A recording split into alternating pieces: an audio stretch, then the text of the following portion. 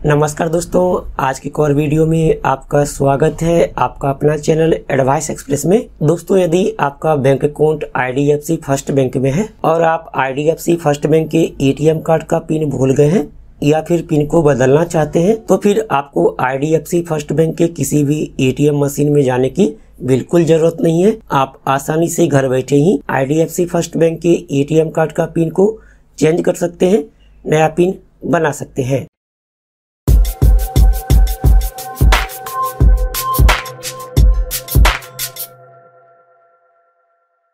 दोस्तों, हम IDFC first bank के मोबाइल बैंकिंग ऐप को ओपन कर लिया है। चलिए हम इसमें लॉगिन कर लेंगे।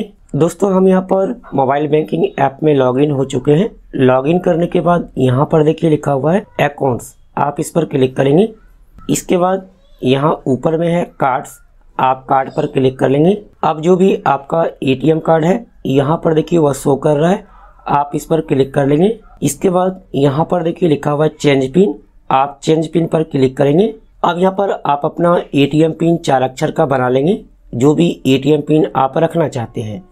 जैसे कि आप इस तरीका से बना सकते हैं।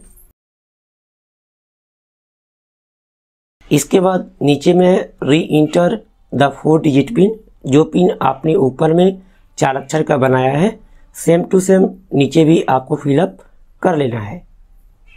यहाँ पर हमने फिलअप कर दिया। इसके बाद आप वेरीफाई पर क्लिक करेंगे। अब ये वेरीफाई होगा। अब यहाँ पर देखिए एम पिन मांगा जा रहा है।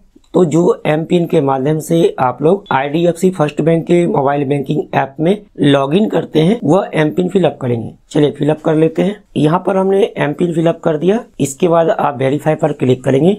अब यहाँ पर आपका पिन बन जाएगा। यहाँ देख सकते हैं we have change your pin successfully आपने जो यहाँ पर आईडीएफसी फ़र्स्ट बैंक का एटीएम कार्ड का पिन चेंज किया है, वह चेंज हो चुका है। यहाँ देखिए लिखा गया है। चलिए, इसके बाद आप डन पे क्लिक कर लेंगे।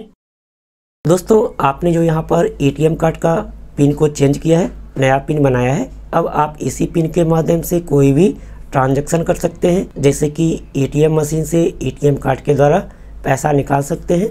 इसके अलावा आप ऑनलाइन ट्रांजैक्शन कर सकते हैं, साथ ही आप पीओएस मशीन के माध्यम से ट्रांजैक्शन कर सकते हैं। जो भी आपने यहाँ पर एटीएम पिन बनाया है, इस पिन को एटीएम मशीन में जाकर के चेंज करने की बिल्कुल ज़रूरत नहीं है। उम्मीद है कि मैंने आपको डिटेल में बता दिया है। यदि आपके मन में कोई सवाल लगता है तो कमेंट ज़रूर कीजिए। साथ ही यदि आप हमारे चैनल को सब्सक्राइब नहीं किया है तो प्लीज़ सब्सक्राइब करके बेल आइकन दबा दीजिए। फिर मिलते अगले वीडियो में। तब तक के लिए बाय। Take care.